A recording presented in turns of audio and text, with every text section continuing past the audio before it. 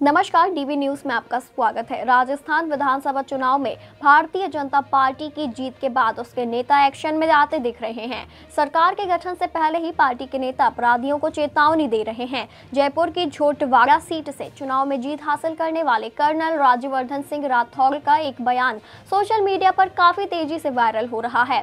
उन्होंने माफियाओं को आगाह किया है कि राज्यवर्धन सिंह राठौर ने कहा है कि माफियाओं को ढूंढ ढूंढ कर निकालूँगा और नाश्ते में खाऊँगा। वायरल हो रहे वीडियो में राज्यवर्धन सिंह राठौर कह रहे हैं कि माफियाओं को ये नहीं पता है कि मैं माफिया को नाश्ते में खाता हूँ।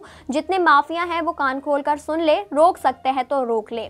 वहीं बता दें कि राज्यवर्धन सिंह राठौर का मुकाबला कांग्रेस उम्मीदवार अभिषेक चौधरी से था। यहाँ पर लड़ाई काफ़ी रोचक रही। शुरुआत में अभिषेक चौधरी ने बढ़त ले ली थी, लेकिन बाद में राज्यवर्धन राठौड़ ने वापसी की और जीत हासिल की। पिछले चुनाव में राजपाल सिंह शेखावत ने बीजेपी से झोटवाड़ा सीट पर चुनाव लड़ा था। पार्टी ने राजस्थान विधानसभा चुनाव में राज्यवर्धन राठौड़ को मैदान में उतारा, जिससे अशोक गहलोत के नेतृत्व वाली कांग्रेस सरकार को सत्ता से हटाने के लिए एक लड़ाई के रूप में देखा गया। बता दें, उन्होंने 2004 एथेंस ओलंपिक में डबल ट्रैप शूटिंग में रजक पदक जीता था। उन्होंने 2014 का लोकसभा चुनाव लड़ा और जयपुर ग्रामीण पार्लियामेंट सीट से जीत हासिल की। नवंबर 2014 में उन्होंने सूचना और प्रसारण राज्य मंत्री के रूप में शपथ ली। राठौर 2019 के आम चुनाव में लोकसभा के लिए फिर से चुने गए।